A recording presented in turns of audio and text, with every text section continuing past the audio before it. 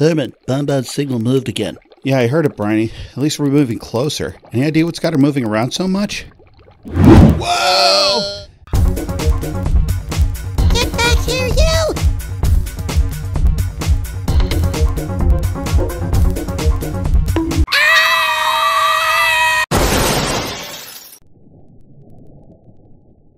What are you looking at?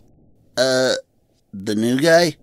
Uh, yeah, uh, I've never seen a fish like him around here before. You're not supposed to. He's an invasive species called the Asian carp. Asia? Asia's half a world away. How'd he wind up over here?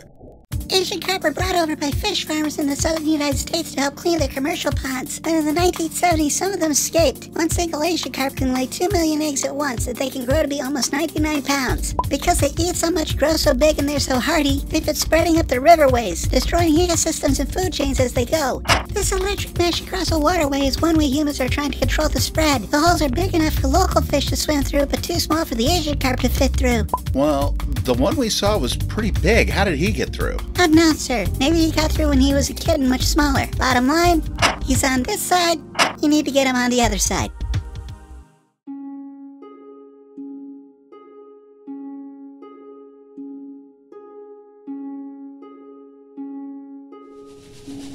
Uh, Herman, are you sure this is such a good idea? What do you mean? What's wrong with it? Well, I mean, that Asian carp was awful big, and we're kind of small. Are you sure we should really be roaming around down here? Relax, Briny. We're not here to fight him. We're not here to do anything other than find him and get back to Bonbon. Once we find out where he is, she'll figure out what to do. All we have to do is just be quiet, and he'll never even know we were here, and we're going to be just fine.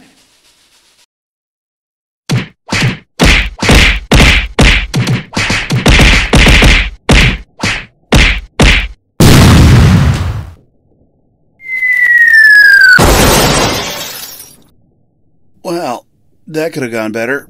You think? Okay, so we clearly need a new idea. Like what?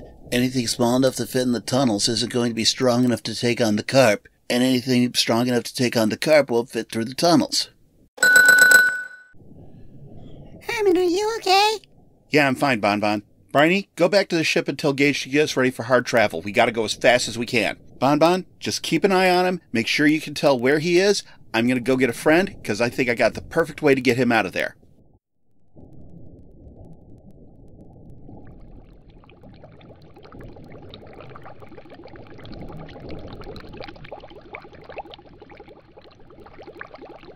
Ahoy, Bonbon!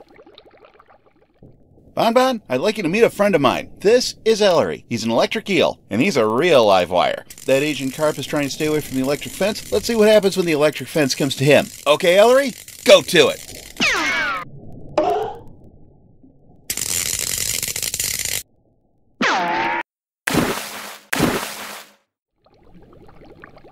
Well, I think we did pretty good. We got rid of that Asian carp. It's back on the other side of the fence now. We did good for now. At the rate they've been spreading, who knows how long it is before they take over.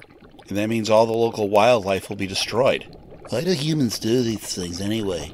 Because it seems like a good idea at the time. Kudzu in the American South, rabbits in Australia, even whoever it was that tried to release the lionfish back into the wild out in Florida. Ecosystems are very delicate, but people don't realize it. And they need to start realizing it before the damage becomes too great.